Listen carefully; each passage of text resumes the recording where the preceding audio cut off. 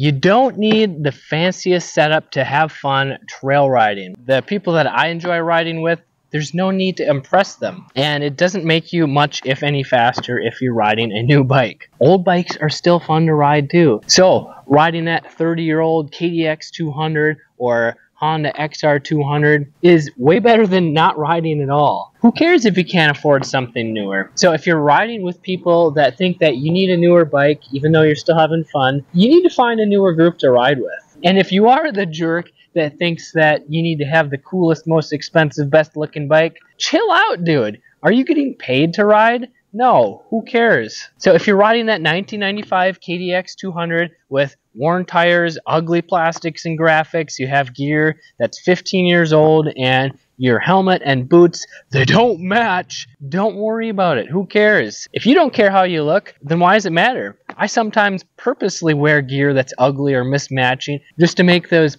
fancy people annoyed. Huh, what are you doing here? You don't deserve to ride a dirt bike because you don't match gear and bike. As long as they function and keep you safe, why does it matter? I'm all about keeping dirt biking affordable, and sometimes that requires buying closeout items for 85% off, and they're probably not going to match. But that's what allows me to keep on riding without going bankrupt.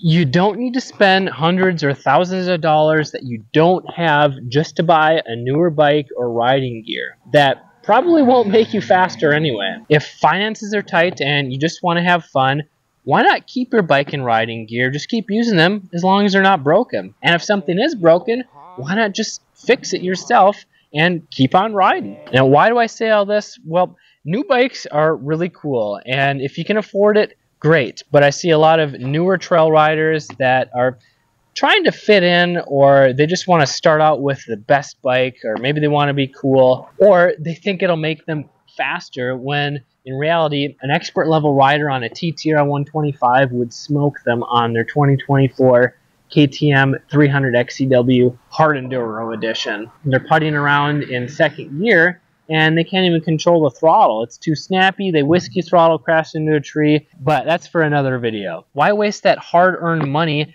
uh, just to impress someone or make yourself 2% faster on the trails? Instead, we could be spending that money on gas, oil, tires, you know, the things that you need to actually ride and have fun, or upgrading to a safer helmet or boots because those are very important protective gear. And if they don't fit properly or if they're worn out, falling apart, you should probably replace them. I'm not saying that no one should buy a brand new dirt bike. I mean, someone has to, at least if we want to have used bikes to buy, right? So if you can easily afford it, uh, not taking out a loan, and you know exactly what you want in a bike, well, who's to stop you? Go for it. I'm just saying that if you're doing it for the wrong reasons, uh, like trying to impress someone or trying to go faster and you don't really have the money to afford it, it's probably not worth it, especially if you're living paycheck to paycheck. So, what if we could ride with a group of friends where it didn't matter what bike we rode or what gear we had, whether it's a 1982 XR200